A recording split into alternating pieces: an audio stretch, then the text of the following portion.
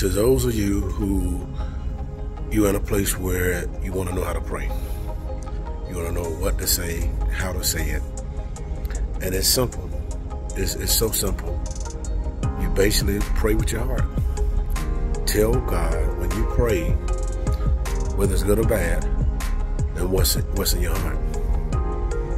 And then you're telling him what's in your heart, then he's going to respond to what's in your heart.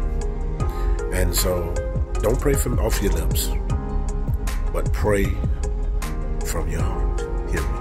Another thing about praying, scripture says, in the word in the Holy Writ, it says that when you pray, go in your secret closet. And in that secret closet, shut the door. Shut the door. And what you do in secret, I'm going to reward you openly for it. So God wants you to shut the door. When you have something to say, go in your secret place. No one is around. And the